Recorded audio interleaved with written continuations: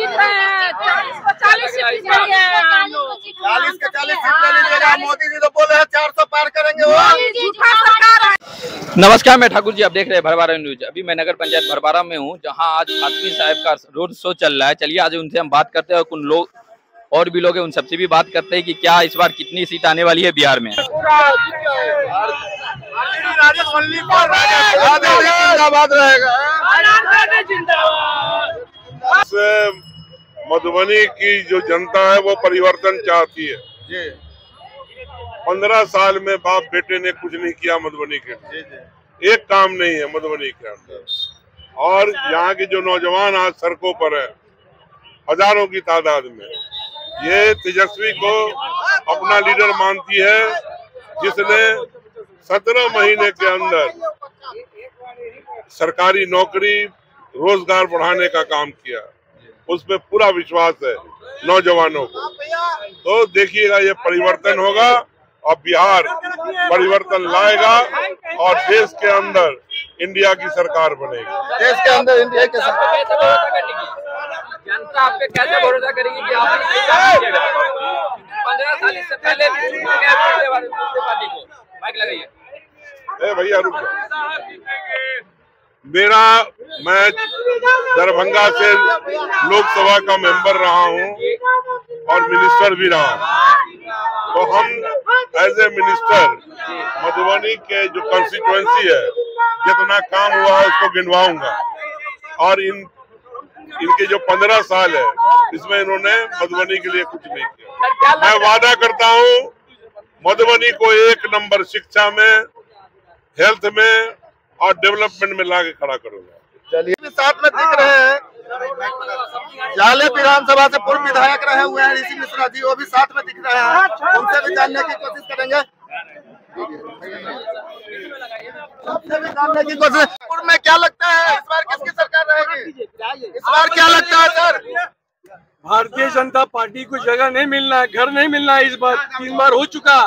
इस बार जो महात्मा गांधी के सोच जो है उसके विरुद्ध जो लोग हैं उसके लिए हम लोग हैं विकास के लिए हैं।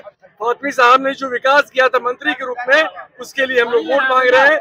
हमारे नेता उप मुख्यमंत्री जी ने जो काम किया है रोज़गार दिया है सरकारी नौकरी दी है। क्या लगता है? है? सरकार होनी चाहिए। तेजस्वी जी की सरकार तेजस्वी सरकार होनी चाहिए। अशोक यादव जी ने काम नहीं किया पिछली बार? क्या? अशोक यादव जी तो सांसद से काम नहीं किया नहीं जब हमको चाहिए तेजस्वी चाहिए लालू प्रसाद चाहिए हमको कोई नहीं चाहिए। चलिए तेजस्वी जी की सरकार चाहिए।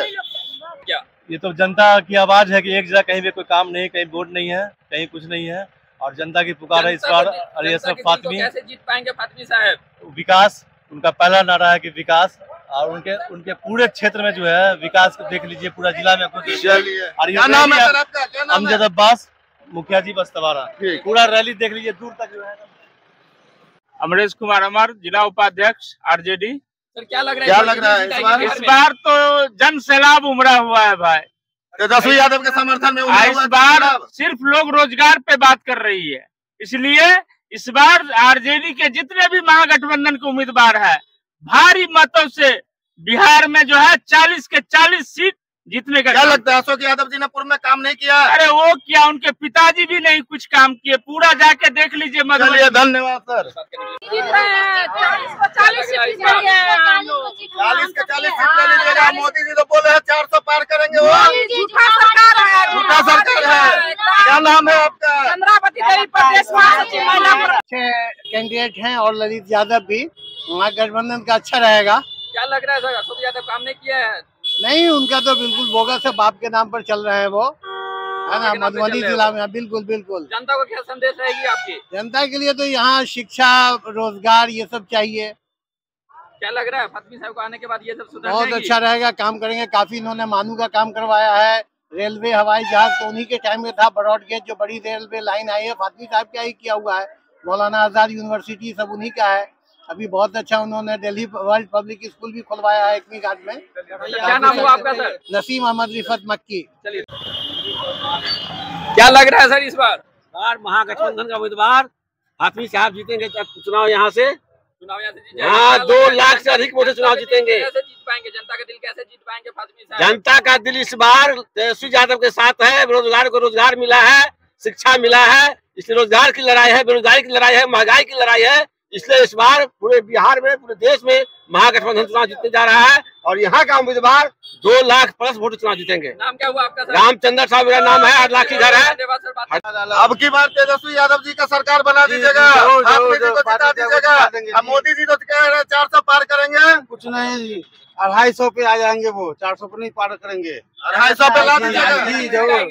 जी? बिहार में कितनी सीट आएगी चालीस में? बिहार में चालीस में कम से कम पच्चीस सीट आएगी। पच्चीस सीट आ जाएगी। Diwakar state general secretary of RJD आज माने फातमी साहब का जो है रोड शो है इस बार फातमी साहब को जिता दीजिएगा। Definitely without fail Modi ji जो कह रहे हैं चार सौ पार करेंगे ऐसा कुछ ऐसा कुछ नहीं है। मोदी जी तो बहुत कुछ कहते हैं। क्या सब हुआ है? जनता सब जानती है। तो इन पे भरोसा करेगी पब्लिक एक पब्लिक है सब जानती है। उनके द्वारा क्योंकि एक पहली बार तो है नहीं। कई दो दशक मान दस साल का कार्यकाल में उन्होंने जो भी जनता के बीच जो भी मतलब वादा किए एक भी वादा पर सफल नहीं हुए। और क्या हुआ?